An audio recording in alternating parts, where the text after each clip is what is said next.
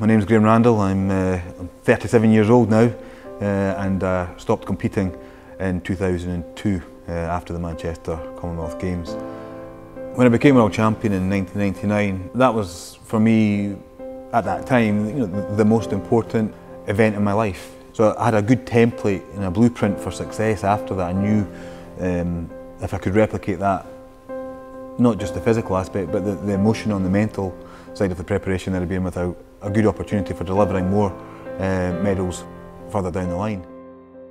Well, ten years on from competing in Manchester, I've obviously had a long time to reflect on it and uh, you know think think quite critically about the performance that I put in that day. Um, it was difficult. It was a, a pressure pressure event for me as I, I was coming back from quite a, a severe injury. Um, there was a lot of uh, background issues surrounding that injury and it was touch and go right up to the last minute whether or not I would compete.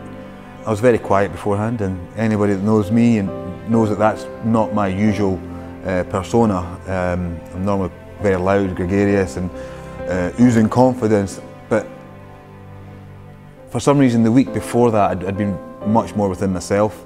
Um, I think because I knew the stakes were so high. You know, there, there, was something different about that particular event. The first couple of days hadn't gone so well.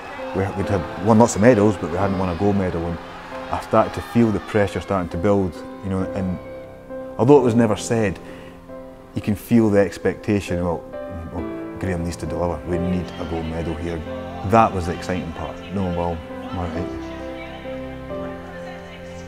I'm going to have to deliver now. So I'm through in the background and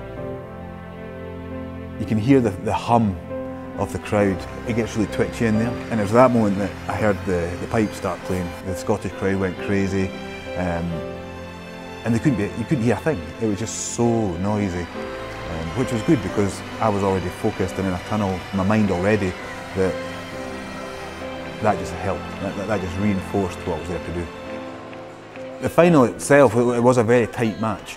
Um, Thomas and I obviously know and each other very well, knew each other very well. Uh, we'd, we'd, trained against each other. I'd fought Thomas a, a couple of times and um, I'd had a 100% record against him, but I was never going to let my guard down with him because he was the home the home favourite. He, he was the home boy that wanted, everybody wanted to win with the English crowd and I could feel as soon as we gripped up that he was wanting to win it just as much as me. You know, he, he wasn't going to let the previous form statistics come into this match. As far as he was concerned, he was coming home with the gold medal. It was so tight, we got a penalty each. I all right, that normally happens. In another minute or so, we both got another penalty for passivity. Like, oh, all right, this is going to get a bit naughty in a minute.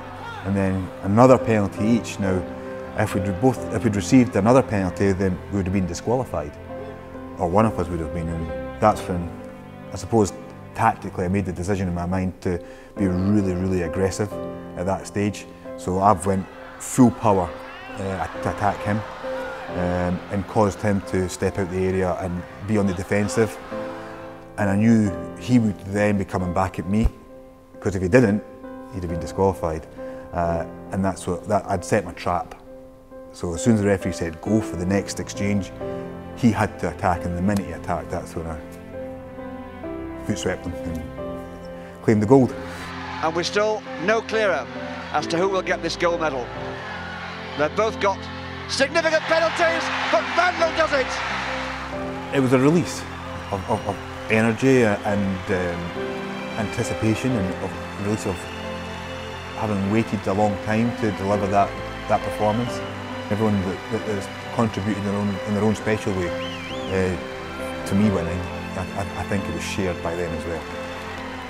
Winning the, the gold medal in Manchester because there was so much attached to the journey to get there and actually being able to step on the mat to fight, uh, I, I, would put it on a par with winning the, winning the, the, the World Championship gold medal. The Commonwealth Games in Glasgow, undoubtedly, it will be the pinnacle of many athletes' careers. It was my chance to, to shine as a, as a Scottish athlete in a Scottish tracksuit, um, competing with my teammates, but also competing against you know the rest of the world.